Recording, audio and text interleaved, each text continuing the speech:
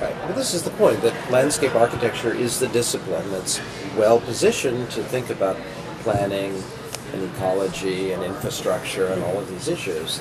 But the thing that I, I just finished a book, mm-hmm. landscape and architecture. But anyway, On landscape architecture? no, it's on Oh, architects and landscape. But I, th- but my prejudice, and you can challenge me, is to think that architects use the lingo from landscape architects process and Yeah. whatever. Um, but they use it metaphorically rather than ecologically, and so that there's a fundamental, like, I don't know if it, it's like an appropriation of the words without understanding the spirit or whatever. So it seems to me that, um, well, in the history, in the hi- modern history, my, the point of my book is basically that landscape was always really central to the modern you know, idea. Um, but but nobody ever recognizes it. And history books never talk about it. And Right. Blah blah blah. So I think that, um, but I think that there's still. I mean, obviously, there's many ways to be an architect and many ways to be a landscape architect. So that what you're saying about you only work with people, you know, whose work you like, it's it's imperative, right? You can't because if you if you're trying to work with somebody who thinks they know all about ecology and they're an architect, it's Right. I'm pretty suspect of that anyway. Um, so it just seems to me like getting. I guess I'm teaching a seminar right now, and my main purpose is just to get the students to understand that they better talk to landscape architects and they better understand what they're talking about, but not try to be them right. whatever. I don't mind that the boundaries between the disciplines are always shifting, but it just seems really so important now. Sounds like a fascinating book. No, I don't. I I mean, I love don't. it. No, I don't disagree with, Yeah, with any of that. I mean, I think. I mean, it is true that there's a kind of very facile appropriation of the language. I mean, I, you, you know, I. I mean, I first started talking about landscape. I, it was, I don't know. It's must have been about I don't know 1996 or something. Um, and there was an exhibition of Dutch architecture at the storefront, and I, I was think I was asked to moderate a panel or something. And I remember Winy Maas saying that um, architects use the word landscape as often as Americans use the word fuck. So, this was 1996, right? Right. So, I hope that makes it to YouTube. and yeah, and you know, of course, I mean the Dutch. I mean that that was that was the sort of privileged entry into to the sort of landscape architecture uh, uh, conjunction. And you know, Aaron Betsky wrote this book. Um, yeah, I it's pretty superficial. yeah. I hope that makes it to YouTube too. Thank you, Aaron. Uh, but um, but no, you're absolutely right. I mean, it's um, Please.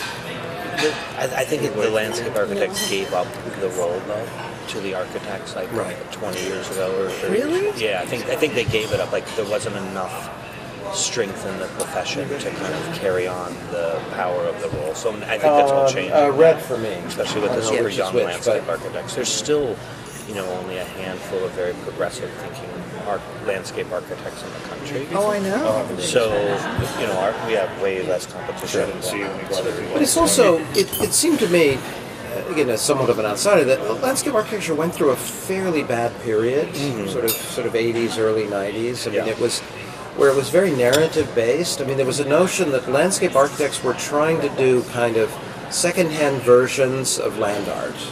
Right. Yeah, or came about you know, sort of Alice Aycock, Mary Right. Miss kind Right. of, and then and then it's, you had people like Mary Miss sort of moving into the world of landscape in a way, and and also sort of appropriating that territory. So you're sort of squeezed from both ends. So.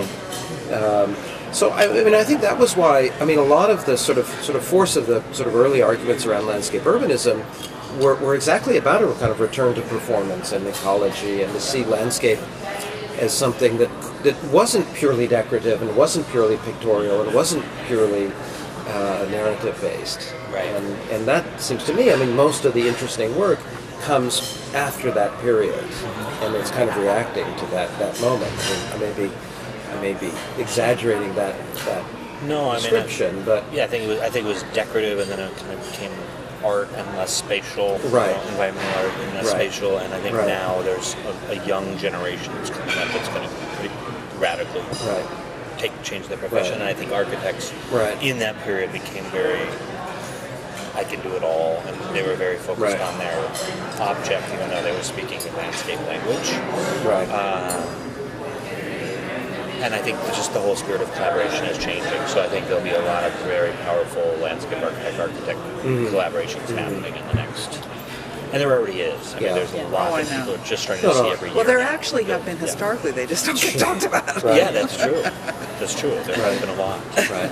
Well, my my other sort of theory about that is that that in in some ways, because landscape architecture had a less developed sort of institutional framework, that it, it was a little more agile and could actually change and and start thinking about different scales, start thinking about infrastructure, start thinking about ecology in ways that, that you know, arch, I mean, architecture is a big, cumbersome field with a lot of history and sense of sort of institutional weight, and it's it's not as quick to to uh, to adapt. And I think, you know, again, a handful of landscape architects made a kind of quick adjustment and moved very quickly into this territory.